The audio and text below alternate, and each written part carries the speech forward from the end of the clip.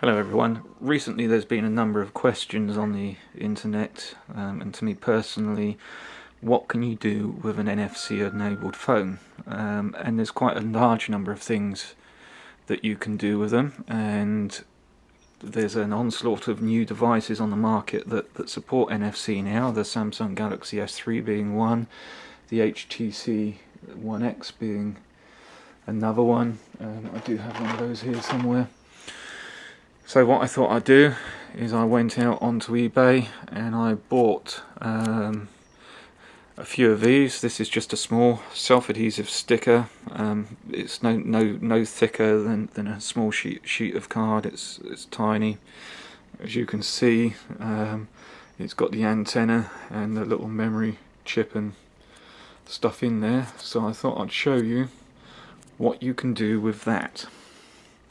And there's a number of things that you can do. Um, I've got got one of these in a car cradle so that when I put my my phone in the in the cradle it sits in front of that chip and I'll show you now what that looks like.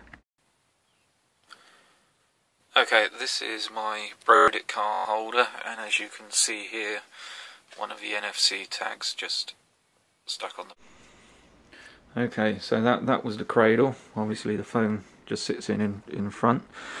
Now let's show you what you can do do with it. Start off with I've got Tasker installed on the phone. I use that to automate a lot of things. But I've also from the Android store got a piece of software called NFC Task Launcher and this is is a useful piece of software you can see I've already got um, a few tasks set up in here but you'd start off by making a new tag.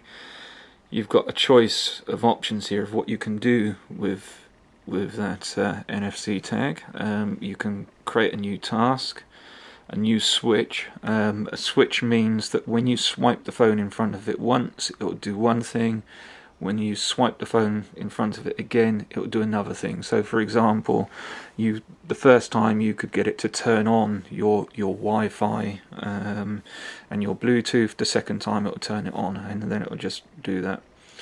Um, you can URLs messages um, contact cards um, or you can if you've already rewritten one of these you can can erase the the tag. Um, so that you can rewrite it with a with a different command. Um, but I think we'll we'll start here with new task. Okay, we can can call this, give it a, a name. So I'll call it test test task, and we can add an action. Now there's a whole number of things that you can control here, so you can turn the Wi-Fi on and off. Wi-Fi hotspots, airplane mode. Um, let's just bring that back up. Um, you can uh, change the, the sound and volume. Um, social media, so you can can send a tweet. Um, Facebook check-in on, on where you are. Um, you can control control the the screen options here um, but to be honest I I create most of my routines in Tasker.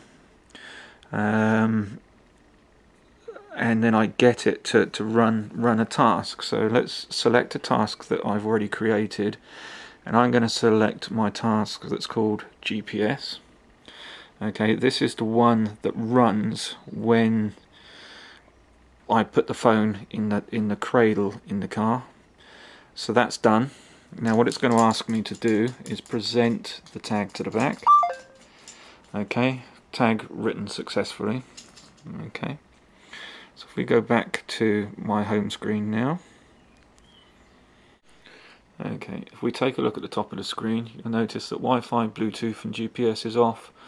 The screen is set to automatic brightness. What should happen when I swipe this this little little tag behind the phone is Wi-Fi, Bluetooth and GPS should turn on.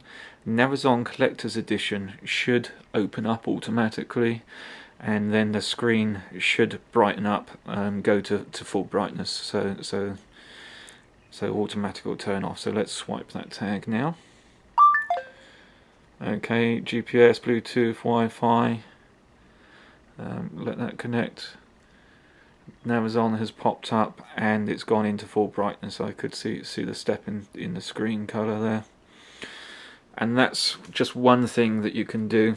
Um, it is possible that chip can go behind the phone and it can stay there like it does in my car cradle and it will do nothing um, whilst you're, you're driving along. Everything will stay as you've set it um, until you remove that and you do whatever you do to get back out of this me I've got a Tasker profile that detects that um, I've got out of the van um, and it shuts shuts all these services back down to the way, the way they were before. Um, but you can have another another tag that you'll you'll swipe and it will turn off whatever services you don't want. So that's just one way of programming and using these little MiFare chips.